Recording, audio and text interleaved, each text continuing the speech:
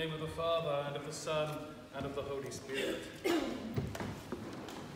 Last week we had that wonderful and joyful gathering where we came together, we celebrated the liturgy, we celebrated Vespers also, and we knelt a lot.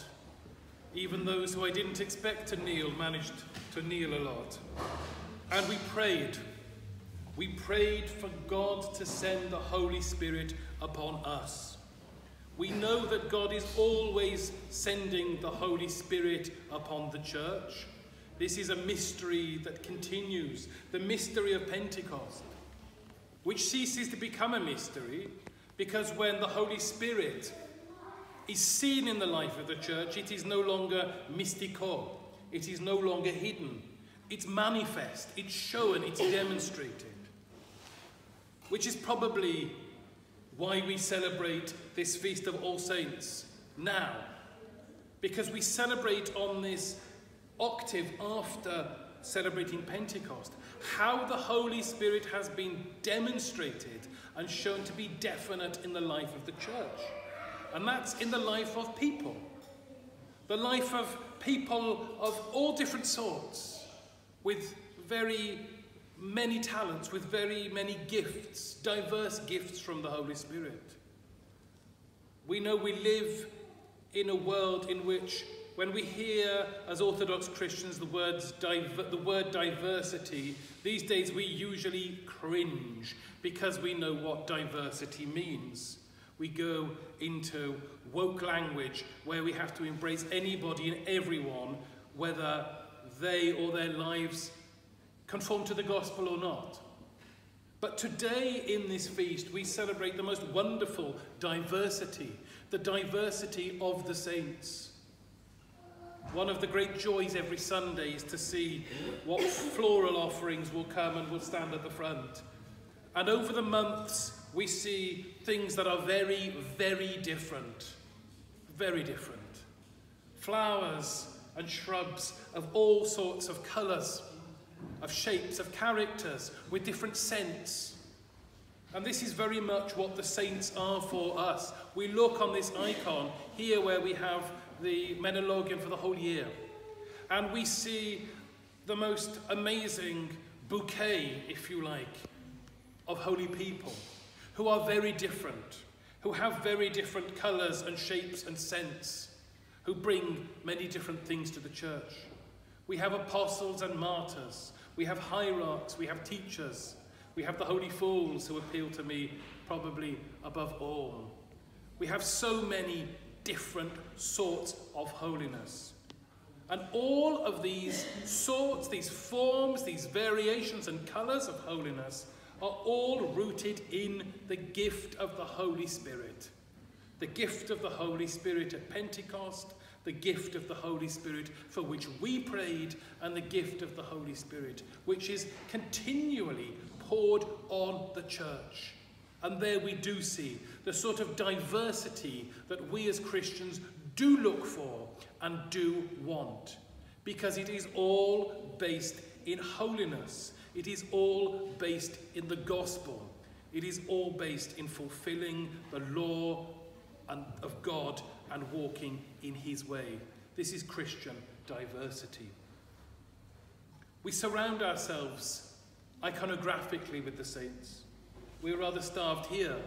I'm very grateful that when the deacon goes round each week, apart from the front, that we have icons arranged on the side so that they can be venerated, so that the saints in these icons can be honoured as models of holiness, as parts of this wonderful, wonderful variety and diversity in the church.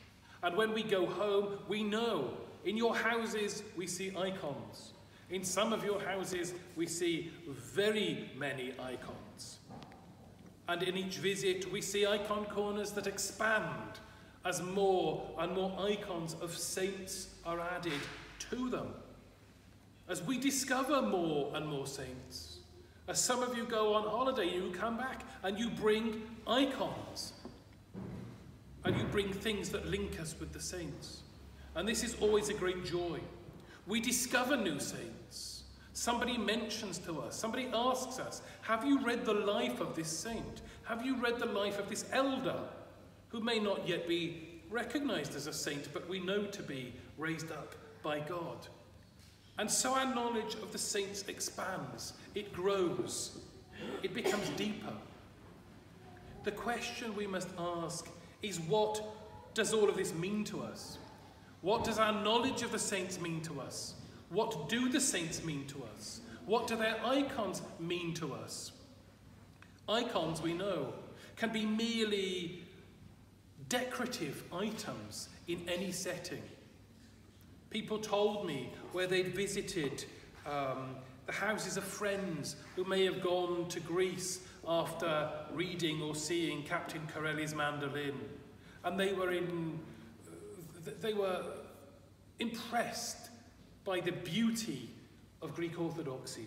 And they came home and they brought icons and they put them up. And people, Orthodox people, visited their houses and said, What do they mean to you?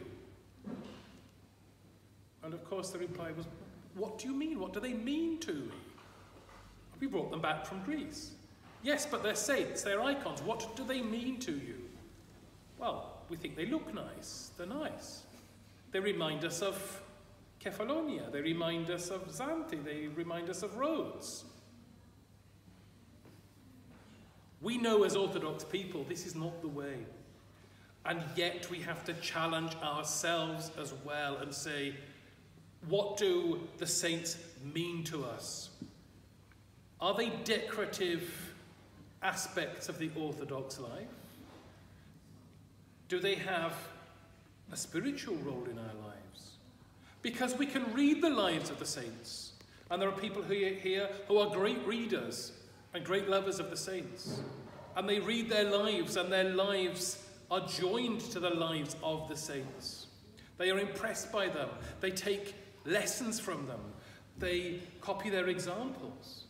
But equally, we can have hundreds of icons. We can know about the lives of hundreds of saints and this can make no impact on our own lives. We can know all about the Holy Spirit. We can know all about the prayers. But unless we open ourselves up to the Holy Spirit and seek the Holy Spirit, it means nothing in our life. When we look at the saints on this Sunday and every day of the year, when we open the calendar and we don't just see one saint, we may celebrate one saint in the services, but you'll see many, many saints. Those of you who may know or use the St. Herman calendar will see the saints of all sorts of countries, plus holy people who are yet to be canonized, but whom we consider to be saints and holy. We can read them all, we can know them all, we can have icons of them all, we can quote their lives, we can quote their miracles. And all of this can mean nothing we have to embrace the saints. We have to embrace their lives. We have to embrace their examples. I was thinking yesterday we have to imitate their examples. And then I thought, is this the best word? We can do lots of imitation. We come across people who wish to imitate Saint Seraphim. And every day of the year they will greet you and say, Christos voskrese, Christ is risen. Some of them, the slightly more dotty ones, may call you radost moya, my joy. Does this mean anything? If this is mere imitation, mere imitation of the saints, we can all act piously. We can all make, not all perhaps make pokloni. We can go through the motions. We can go through the actions which indicate holiness. But is it holiness if we are only imitating? It struck me there is no such thing as second-hand holiness. No such thing at all. There is no second-hand sanctity. There may be second-hand piety in the way that the West uses the word pious, usually with a sneer or a frown. Holiness has to be original and authentic. So, let's not imitate the, the saints, Let's emulate the saints in our lives. Let's look at their examples And let's wish to embrace their examples and join that to our own lives. We need to emulate holiness. We need to say, how should this be operating in my life? How is it meant to work? How should I be acting out the gospel? I'll be boring and again refer, as I do month by month, to the Beatitudes, the Blazheni that we've heard, and to say, we don't need to know about them. We need to get on and do them. Sanctity isn't about what we know, sanctity, holiness is about what we do. So let's emulate the saints. Let's read their lives. Let's make it part of our living. And let's do this through a real relationship with the saints. In my bag, I have a book that I've read again that Karen must remind me to give back to her, which is the life of St. Yakovos of Evia. And what's so beautiful and touching in that life is the relationship that St. Yakovos had with St. David of Evia. And he would go and he would talk to St. David as the closest person to him. He would go and he, sometimes he said he'd be a little bit grouchy with St. David. He'd say, Look at these people, look at their problems, please, Father, please help me. Please go. Please go to London. At one point, he said, Please go to London and help this person in this operation. And he spoke with such warmth, with such simplicity. Some of you heard Bishop Irenei talk about the way some of St. John of, of Shanghai and San Francisco's spiritual children speak to him in the same way. They go to his room. They go to the chair where he died. They go to his icon in there and they and they make a bow, they make, make a poklon, and they, they say, Blagoslovite. They ask his blessing, they talk to him, and they say, Vladika, I'm here with problems. I'm here on behalf of other people. And they talk to St. John as though he was sitting in that chair in front of them.